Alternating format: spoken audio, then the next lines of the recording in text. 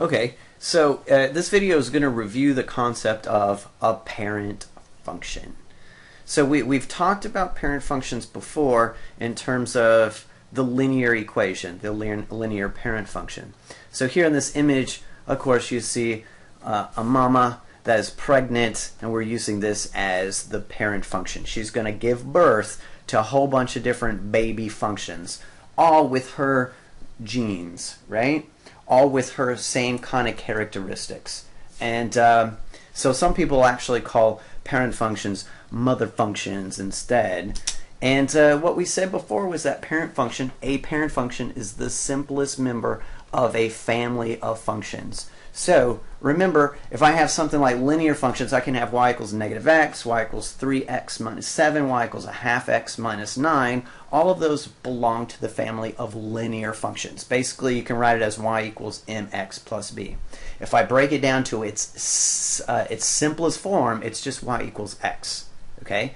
And what we're going to be able to do is, is do transformations on the parent in order to make all of that, that family that she might give birth to over there.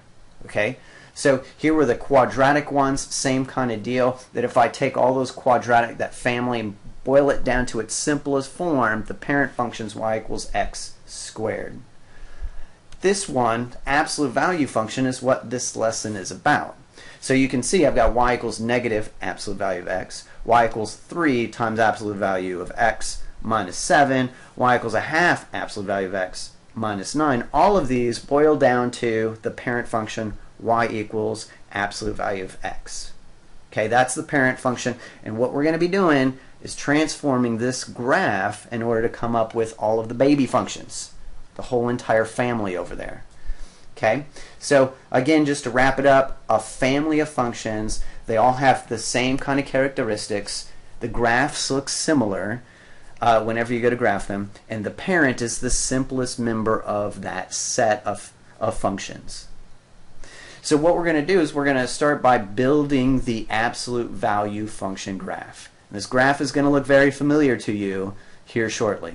Okay, so the absolute value parent function is f of x is equal to absolute value of x, or y equals absolute value of x. So we've done absolute values before, but there was no y in there. There was just the absolute value of x or you know something a little bit more complicated than that. So now we have two variables, we have an x and a y. Okay, so the graph of the absolute value parent function is, is very similar to the um, graph of the parent function for a linear function, which is y equals x, which you see graph there. However, absolute value, whenever you evaluate it, it's always got to be it's always got to be positive. Okay, so if I look at this graph, the part that is not positive is everything from 0 to the left, right? This portion of the graph right here is not positive. So we have to do something with it. We have to make it positive. And so to make it positive, what we do is we reflect that part above the x-axis, okay? I'm going to take that where it's negative, flip it up above the x-axis, and now all those y values are going to be positive. That V shape, have you seen it before? That's what we ended the last video with. That V shape is the graph of the absolute value parent function. Okay? Over on the right hand side, it's just y equals x. And over on the left hand side, right here, let me write that down. Let me let me write it down. y equals x. And over here on the left hand side, it's y equals negative x. Because if you take a negative of a negative, it makes it positive again. Okay, this shape is a shape of uh, something that you want to memorize. You want to be able to graph that parent function very quickly without even giving it much thought. Okay, so let's talk about some different parts of this graph before we conclude this video. Okay, so again, this V shape makes the absolute value par uh, parent function. So um, the point right there, the point at the very bottom, mark it here, that's the vertex. It's the minimum point. You might be used to seeing a vertex on a parabola. It's the same kind of thing. It's a it's like a turning point, but here it's a very sharp corner instead of a parabola being a smooth one. So that's a minimum point for this graph. And the vertex is at 0, 0. That vertex is at 0, 0 for the parent function, and this graph is symmetric about the y-axis.